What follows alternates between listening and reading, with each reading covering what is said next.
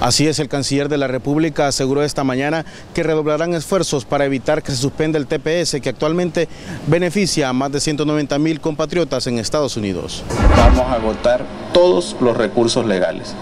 Y cuando lo decimos no solo nos referimos a nuestros compatriotas que están en una condición irregular, sino que nos referimos a eh, los compatriotas que están en TPS. Que por cierto, desde mi punto de vista muy personal, no hay solo una alternativa para ellos. O sea, debemos también pensar un poco fuera de la caja y no solo pensar en una prórroga, ¿verdad? Porque ya tenemos antecedentes, incluso de rango legislativo, en Estados Unidos que dieron salida a situaciones similares. El funcionario aseguró que en los próximos días viajarán a Washington, Estados Unidos, para cabildear sobre el tema. Muy buenas tardes para todos.